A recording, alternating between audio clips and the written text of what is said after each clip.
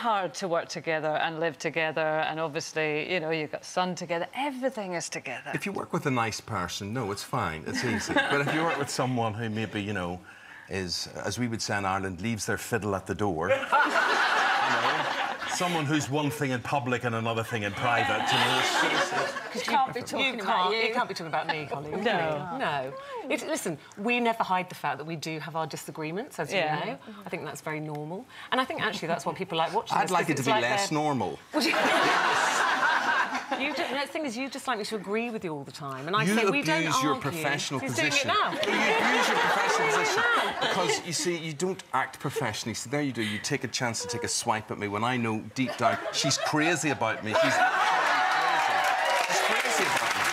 She's crazy. In fact, I was watching this morning on Friday, and the two of you were presenting this morning. You were talking about whether a man wants to have a, a partner who's more intelligent. And I mean, I must admit, I was sitting hooting with laughter. I enjoyed it, but you two, your face, Ruth, it was absolutely We did start sparring, didn't we? You, you did a little bit. Yeah. So when you come off set, is it ha ha, that was it, or is it a little bit of We do take it home occasionally, but not often. Well, you don't. You don't talk work We make home. up at home.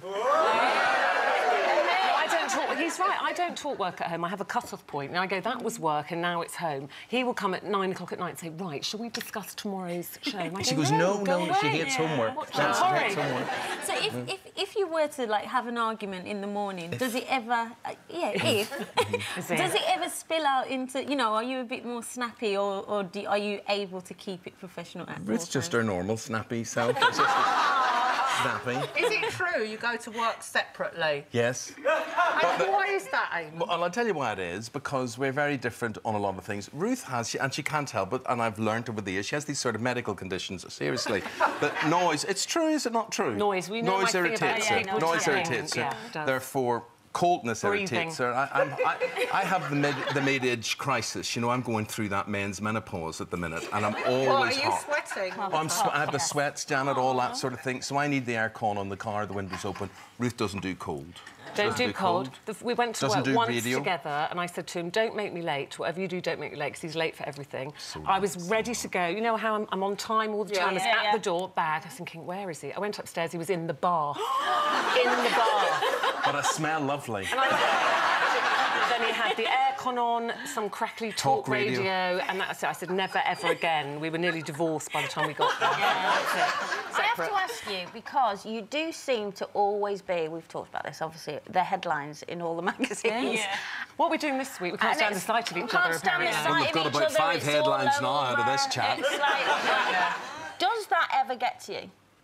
Only when I remember last Easter we were on a holiday and uh, we went through Gatwick Airport and my 13-year-old son was with his friend and they went to the newsstand and there was this ridiculous headline: Eamonn and Ruth to divorce.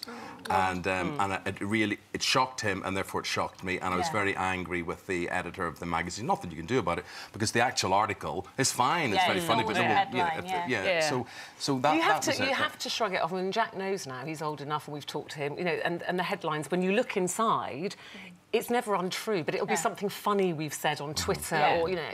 Um, so it's never very Look, serious. let me sum my wife up. Last week I was God. hosting. She didn't ask you to. Please, I didn't. bossed in. you Yeah. see- Eamonn, Thank you, you, Janet. bossed in with a summary I was of trying to say something nice about her. I was saying last Friday on then. night I was hosting an award ceremony. Yeah. And there I was, I was about to start the award ceremony, and a surprise was sprung on me. And that was that I'm 35 years doing what I do, and they gave me this Lifetime Achievement Award. I'm now at that age. The person who presented it to me, they said if you look off to your left, there's a very special person to present this, and there's me thinking, it's Kelly Brook. Sir Alex Ferguson or somebody like this. No. But this magnificent creature of a woman was off to my right. And it was an Irish award ceremony. She was dressed in green. It was very nice. as well. Smarty. And, um, and she came on. And when she gave me that award, there was no one who I would have wanted more to give me that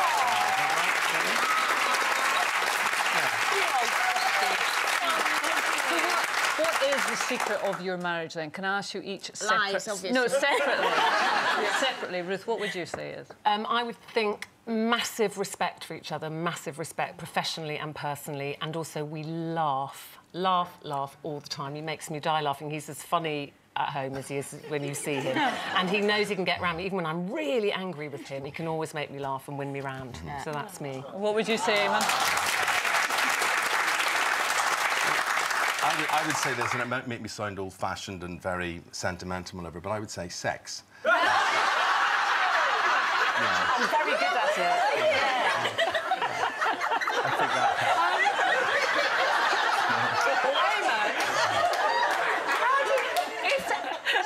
I can completely agree with that.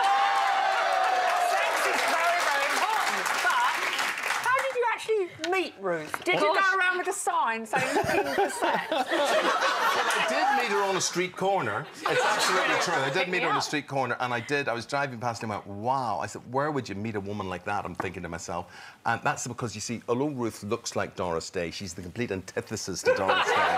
I thought I was getting that. Doris Day. there. You know, no, you, you, no, but she's she's completely different. But that's I literally met her on a street corner. She was standing there waiting. I wasn't for... working. I was waiting.